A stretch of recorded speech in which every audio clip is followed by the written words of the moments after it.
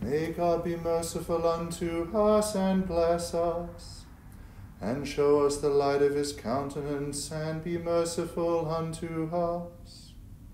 Let your way be known upon earth, your saving health among all nations. Let the peoples praise you, O God. Indeed, let all the peoples praise you.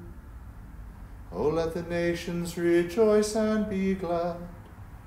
For you shall judge the peoples righteously and govern the nations upon earth. Let the peoples praise you, O God. Let all the peoples praise you. Then shall the earth bring forth her increase, and God, even our own God, shall give us his blessing. God shall bless us, and all the ends of the world shall fear him. Glory be to the Father, and to the Son, and to the Holy Spirit, as it was in the beginning, is now, and ever shall be, world without end. Amen.